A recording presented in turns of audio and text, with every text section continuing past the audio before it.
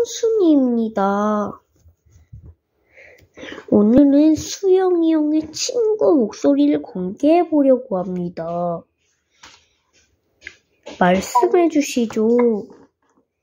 자, 안녕하세요. 응, 나.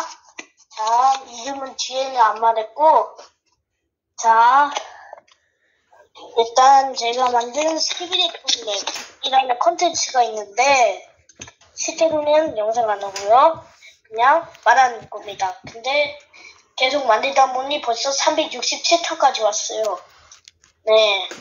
그리고 제 동생이라고 해야 될지 애완동물이라고 해야 될지 모르겠지만 자 나를 때리지 말고 자기소개 잘해주렴 알겠지? 이렇게 나이차 안녕하세요 노랑이에요 그리고 모 영이의 친구죠 핑순이한텐 언니고 수북이한텐 누나죠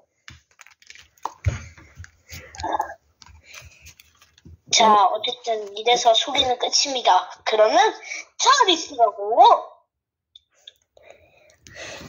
자, 오늘 영상은 여기서 마칠게요. 안녕.